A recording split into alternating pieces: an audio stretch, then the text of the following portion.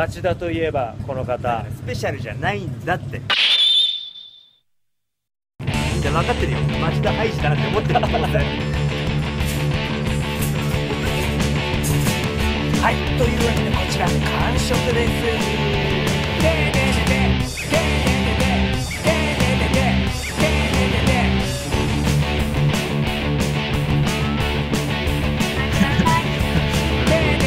この間も来ました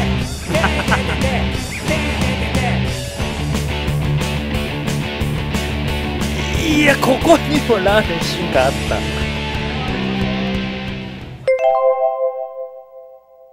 た。ちょっとまさか。待ってななんで？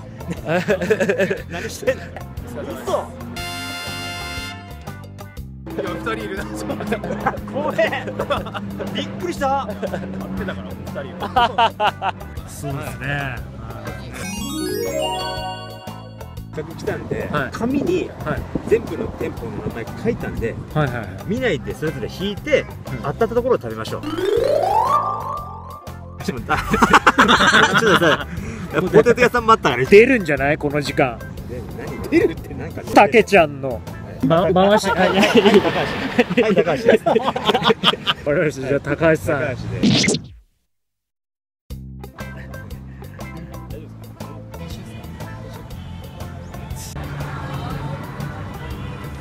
はいそれではこちら高橋さんの味噌つけ麺です。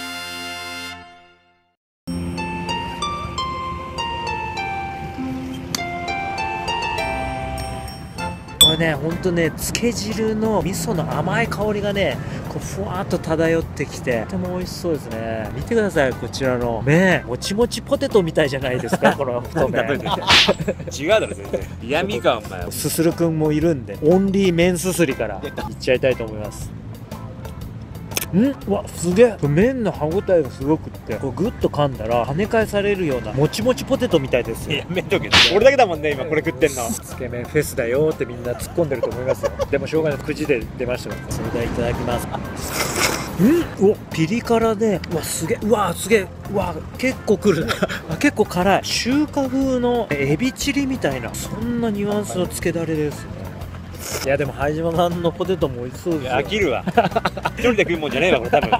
でも味変できるからいいじゃないですか。ケチャップしかねえわ。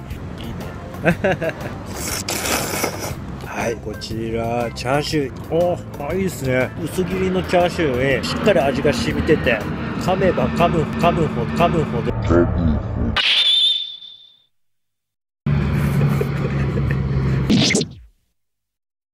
噌の甘みと合わさって。これ美味しいですね。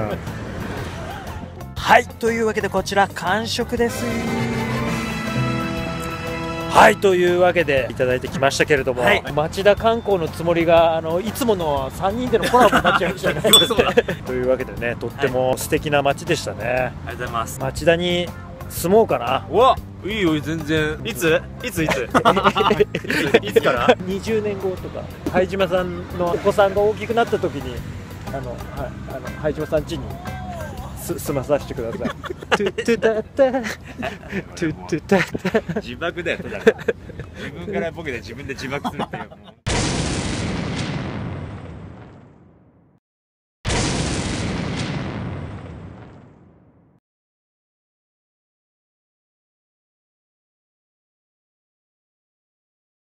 普段ですね、私ですね、あの、微妙なスポットにて、椅子でずっこけるっていう動画をね、アップしてるんですけれども、コメディチ全力ショートコント全力合格発表。ドキドキ。あるかな？ドキドキ。あるかな？あるかな？